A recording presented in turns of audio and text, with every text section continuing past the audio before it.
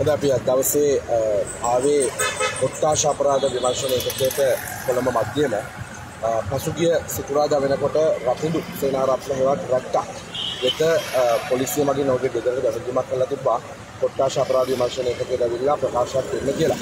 නමුත් ඒ අවස්ථාවේ සෙනසුරාදා දෙන්න බැරි නිසා සෞදා දිනේ ඔහු පොලිසියට පැමිණෙන බව දැනුම්දීමක් කළා තිබ්බා.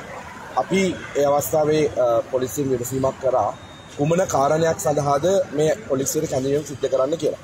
ඒ අවස්ථාවේ ජෝනි නම් කිව්වා 25 වෙනිදා කොටුව අධිකරණය ඉදිරිපිට පැවතිච්ච උද්ඝෝෂණය හේතුවෙන් ජනතාවට වෙච්ච අවහිරේ ගමන් කිරීමට බැරි වුණා කියලා අවහිර වුණා කියලා බාධා කිරීමක් සිද්ධ වුණා කියලා ඔවුන්ට පැමිණිලි කිහිපයක් හම්බෙලා තියෙනවා කියලා. ඒ නිසා ඒ තත්ත්වය මහා ලොකු ප්‍රශ්නයක් හැටියට අපි දකින්නේ නැහැ. ඒ නිසා අද දවසේ අපි ඔහුව අපරාධ කොට්ටාශ අපරාධ විමර්ශනයකට ඉදිරිපත් කරාම නමුත් අද දවසේ තමයි අපි දැනගත්තේ දාලා තියෙන චෝදනා ටික මොනවද කියලා. දැන් අද වෙනකොට දාලා තියෙනවා කොම්පඤ්ඤ වීදියේ පොලිස් ස්ථානාධිපතිවරයා විසින් තමයි ගරු අධිකරණයට කොටුව මහේස්ත්‍රාත් අධිකරණ කණුව වාර්තා කරලා ඉදිරිපත් කරලා තියෙනවා එදා 25 වෙනිදා අධිකරණයේ කටයුතු වලට බාධා කිරීම. අධිකරණයට පැමිණෙන අයට බාධා කිරීම. පොලිස් නිලධාරීන්ගේ රාජකාරියට බාධා කිරීම. මහමග ගමන් කරන අයට බාධා කිරීම. වගේ චෝදනා ගණනාවක් දාලා තියෙනවා. ඒත් එක්කම අද අපි දැක්කා ඒ ඉදිරිපත් කළ තියෙන ෆැක්ස් රිපෝට් කරලා තියෙනවා.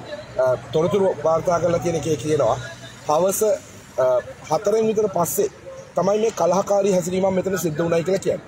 හැබැයි බොහොම පැහැදිලිව මේ වෙනකොට සාක්ෂි තියෙනවා අපි ඒට අධිකරණයට ඉදිරිපත් කරනවා රතිඳු එහෙම නැත්නම් රැට්ටා එදා දෙක විතර වෙනකොට දෙක දෙකහමාර වෙනකොට කොටුව අධිකරණයේ පරිශ්‍රයෙන් ඉවත් වෙලා තියෙනවා. අධිකරණයේ පාරෙන් ඉවත් වෙලා තියෙනවා. ඔහු ඒ වෙනුවට අපරාධ පරීක්ෂණ දෙපාර්තමේන්තුවට අර අපේ දර්ශන කියලා YouTube එකට එන්න කියලා තිබ්බ එකට ඒක ආවරණය කරන්න අපි දන්නවා යටකන YouTube කෙනෙක්. ඒක ආවරණය කිරීම නිසා එතන පැවතිච්ච උද්ඝෝෂණයට සම්බන්ධ වීමට එතනට ගිහිලා තියෙනවා. ඒ නිසා මේ ඉදිරිපත් කරලා තියෙන චෝදනාව හෝ කරුණු සම්බන්ධයෙන් රැට්ටාට එරෙහිව එනද රතිදුට එරෙහිව කිසිදු ආකාරයෙන් නීතිමය ක්‍රියාමාර්ග ගන්න බෑ. ඒක බොහොම පැහැදිලි. ඒ නිසා ඒකට අපි සාක්ෂි සහිතව හෙට දවසේ ඉදිරිපත් කරන්න බලාපොරොත්තු වෙනවා.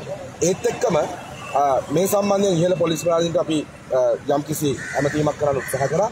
ඒ අය කිව්වේ හෙට දවසේදී උසාවියෙන් අප ලබා ගැනීමක් කරන්න කියලා. ප්‍රශ්නේ තියෙන්නේ අපි රතිදුට හෙට ගන්නවා. ඒක වෙන තත්ත්වයක්. අපි අහන්නේ දැන් නම වෙන්ද ගැහුවනේ පිරිසක් ඇවිල්ලා ගෝඨාගමට. එතන හිටියනේ ජොන්ස්ටන් ප්‍රනාන්දු. එතන හිටියනේ සනත් නිශාන්තවද ගත්තා එතන හිටියනේ වසන්තලා. එතන හිටියනේ කහඳ ගමලා ඒ විතරක් නෙමෙයි. පොලිසිය ඉහළ නිලධාරීන් ඔවුන්ගේ කට උත්තර දෙනකොට අපරාධ පරීක්ෂා දෙපාර්තමේන්තුවට නම් ගම් එක්ක කිව්වනේ. අපි අහන්නේ අද වෙනකන් ඇයි ජොන්ස්ටන්ව ගන්නෙ නැත්තේ? ඇයි මේ කහඳ ගමලව ගන්නෙ නැත්තේ? ඇයි වසන්තලව ගන්නෙ නැත්තේ? ඇයි මේකට සම්බන්ධ මේ සියලු වීඩියෝ දර්ශනත් එක්ක තියෙන මේ අපරාධකරුවන්ව ගන්නෙ නැත්තේ?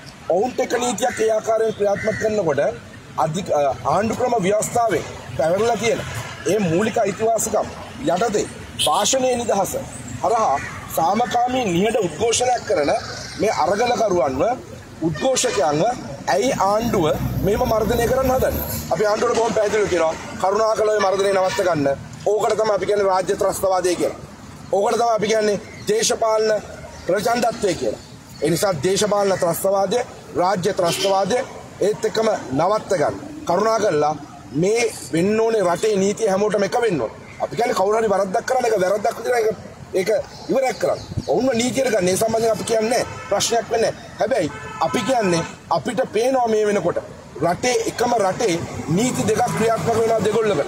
ඒ තමයි මේ ආණ්ඩුවට විරුද්ධව උද්ඝෝෂණය කරන අරගල කරන මේ සිවිල් පුරවැසියන්ට විරුද්ධව මර්ධනය කිරීමේ නීතියක් ක්‍රියාත්මක වෙන ගම ආණ්ඩුවට තත්තදින ආණ්ඩුවේ බත්බැලයන් ඔවුන්ව රකින නීතියක් මේ රටේ ක්‍රියාත්මක වෙනවා. එනිසා අපි කියන කරුණා කරලා ඔය ක්‍රමේ නවත්ත ගන්න. එහෙම නැත්තම් මේ රටේ මීට වඩා ලොකු පිබිදීමක් ඇති වෙලා තමුන්ලට ඉන්න තැනක්වත් අන්තිමට හොයාගන්න බැරි තැනකට තමුන්ලා ඔය ඉන්න පාර්ලිමේන්තුව වල නෙමෙයි ඔය රජ මන්දිර වලින් තමුන්ලා එළියට ඇදලා දාවිමේ මිනිස්සු. එනිසා කරුණා කරලා ප්‍රජාතන්ත්‍රවාදී රටක් මේක මේක සාමකාමී රටක් අපි එහෙමයි කියන්නේ. ඒ නිසා කරුණාකරලා ප්‍රජාතන්ත්‍රවාදයේ තියෙනවා නම් සමානාත්මතාවයේ තියෙනවා නම් සාධාරණත්වයේ තියෙනවා නම් යුක්තිය තියෙනවා නම් නීතිය තියෙනවා නම් මේවා හැමෝටම එකක් වෙන්න ඕනේ. එක්කෙනෙක්ට එක විදියකුයි තව කෙනෙක්ට තව විදියකුයි වෙන්න බෑ. ඒ නිසා අපි කියන කරුණාකරලා මේ මර්ධනය මේ ප්‍රචණ්ඩ ආදී ආකාරය මේ අරගලකරුවන්ව උද්ඝෝෂකයන්ව මර්ධනය කිරීම නවත්තන්න. ඒක නෙමෙයි මේ මිනිස්සු කියන්න. මේ මිනිස්සු කියන්නේ මේ රටේ තියෙන ප්‍රශ්නයක්. කරුණා කරලා ප්‍රශ්න අවබෝධ කරගෙන ප්‍රශ්නෙට උත්තර දෙන්න. ඒක තමයි මේ අරගලයට තියෙන උත්තරේ. ඒක තමයි මේ විරෝධතාවලට තියෙන උත්තරේ. ඒ මිසක් මර්ධනයෙන් මේ ප්‍රශ්න විසඳන්න ඔය කාටවත් හම්බ වෙන්නේ නැහැ. ඒ නිසා අපි කියනවා මේ ආකාරයේ මර්ධනය කිරීම නවත්තන්න නම් ලයිස්තුවක් දැන් මේනකොට ඉදිරිපත් කරලා තියෙනවා. එක එක පොලිස් කොට්ටාශ වලට අපරාධ පරීක්ෂණ අපරාධ විමර්ශන ඒකක වලට ඒ නම් ටික බෙදලා දීලා තියෙනවා. ඒ නිසා අපි කියන කරුණාකරලා මර්ධනය නවත්තන්න. හැබැයි මේ මර්ධනයෙන් වෙන්නේ මේ අරගලකරුවෝ තව තවත් ශක්තිමත් වෙන එක විතරයි. මේ ඕනම දෙයකට මුහුණ දෙන්න ලෑස්තිලා තමයි මේ කොල්ලෝ ටික ඇවිල්ලා ඉන්නේ. ඒ නිසා ඔවුන් ලෑස්ති මේ මර්ධනයට මුහුණ දෙන්න. ඒ නිසා අපි කියන කරුණාකරලා අනවශ්‍ය තැන්වලට මේ රට ගෙනියන්න එපා. ඒ වෙනුවට ප්‍රශ්න ප්‍රශ්න විදිහට තේරුම් අරගෙන ඒවට උත්තර ලබා දෙන්න කියන කාරණයක් බොහොම පැහැදිලිව කියනවා. බොහොම ස්තුතියි. මම නීතිඥ මනෝජ් නානයක්කාර. කොටුව. පිට. ඔව්. පිට දාන්න. මොකද හේතුව කොටු උසාවිය වෙච්ච දේම තමයි කියන්නේ. දැන් ඒකත් චෝද චෝදනාව විදිහට තියෙන්නේ කොටුව උසාවිය භූමිය ආවිර කිරීමේ දා කොටුව මාර්ගයෙන් අධිකරණයට ඇතුල් වෙන පිරිසට කොටුවේ අධිකරණ කටයුතු වල අවහිරක බාධා කිරීම අධිකරණයට ඇතුල් වෙන අයට බාධා කිරීම පොලිස්ලාගේ රාජකාරියට බාධා කිරීම ඔය කාරණා ටික දාලා දෙන්න. හරි. එතකොට හෙටද උසාවියට ඉදිරිපත් කරන්නේ? ඒක උසාවියට ඉදිරිපත් කරන කවුද? ඒක උදේ නේද? උදේ. කොටුව උසාවියට. කොටුව උසාවිය. හරි. මෙයයි අද දවසේ තත්ත්වය ඔබට පැහැදිලි කළා නීතිඥවරුන් විසින් රැට්ටා ලෙසින් සමාජ මාධ්‍යය ගොඩක් ජනප්‍රියට පත් වුණු ඒවගේ ගෝල් පෙස් සරගලයේ ප්‍රධාන චරිතයක් බවට පත් වුණු රකිනු අත් දවසේදී කොම්පඥ වීදිය පොලිස්ථානය අපි දැඟන්නේ පොලිස්ථානය කොම්පඥ වීදිය පොලිස්ථානය අසල ඉදිරිපිට එහිදී කොම්පඥ විදිය පොලිස්තිය මගින් තමයි අද කට උත්තරයක් ලබා ගැනීම සඳහා ඔහුව සවස තුනට පමණ පොලිසියට කැඳවා තිබුණේ. කෙසේ නමුත් ඒ කට උත්තරේ ලබා ගැනීමෙන් අනතුරුව අදවසේදී නීතිඥවරුන් පැහැදිලි කර ආකාරයටම ඔව පොලිස් රිමාන්ඩ් භාරයට පත් කර තිබෙනවා.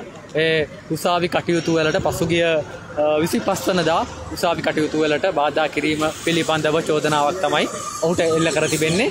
ඒ අනුව ඔහුට ඔහුව හෙට දිනේ හොටුව උත්සාවියට ඉදිරිපත් කිරීමට නියමිත බව තමයි මේ වන විට අපට දැනගැනට ලැබී ඇත්තේ.